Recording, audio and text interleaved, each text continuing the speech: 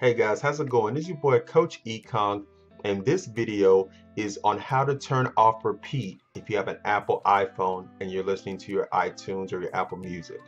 So personally I ran into this issue where when I'm training because I like to train and have just music continuously playing like most people I believe do I would run into an issue where the same song would repeat over and over. Now my first inclination was to go ahead and have Siri eliminate the problem. So I would just ask Siri to turn repeat off. Now this would be helpful for one or two times, but it just seemed like the same issue kept happening over and over.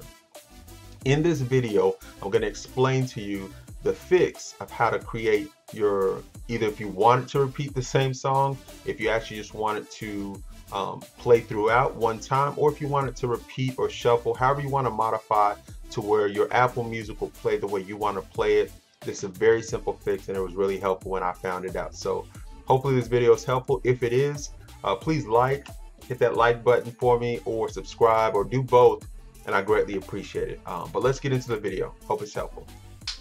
All right, so right here, guys, I'm searching an artist, any artist. In this case, it's Dee-1, a great artist if you've never heard of him. Uh, he just has a new album. He just dropped a new album, uh, Slingshot David. Uh, so I'm bringing you to this page and I'm just going to hit any song and that's just to bring up this gray bar at the bottom.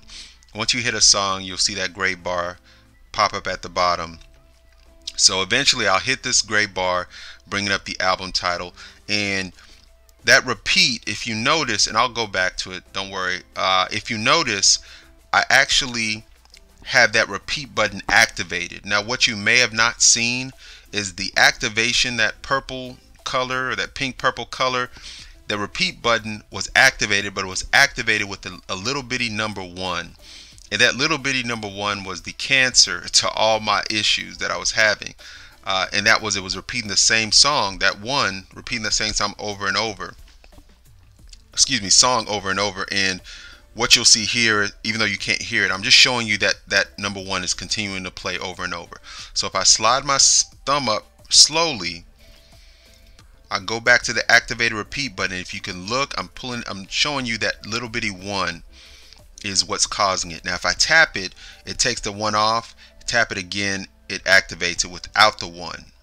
So that repeat, see the one right there, and then it takes everything off. So this repeats the full album without any issues in terms of repeating that same song. And what I'll do as I go back to my song, I scroll back up and move to the main screen, you'll see, boom, it jumped down to the next song automatically, which I wanted to have in the first place. So it stopped it from playing the same song over and over and allowed it to move to the next song. Now, I show you again that repeat, you hit it, hit it again, that's the one, you take it off. Same thing with shuffle. If you want it shuffle, just right next to it to the left, just hit the shuffle button. It'll do the exact same thing, but that's pretty much it. So there you go. That's the gist of it. If you have any questions or something doesn't kind of um, uh, make sense, just comment below. I'll do my best to answer it for you.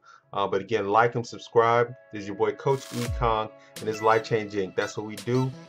Change lives. Y'all be good. One.